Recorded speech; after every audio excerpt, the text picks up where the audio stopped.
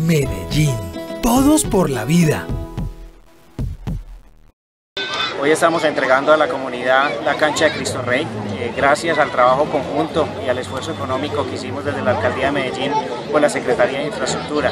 Son más de 1.400 millones de pesos eh, que se invirtieron, no solo para la adecuación del terreno a canchas sintéticas, sino en el cerramiento y en el urbanismo de este sector. No solo es Cristo Rey, vienen las canchas de Campo Amor también adecuadas a, sintéticas, también vienen la adecuación de cuatro eh, canchas multipropósitos o placas polideportivas como las conocemos que tendrán su cubierta y la pista de skate en el puente de la 4 Sur.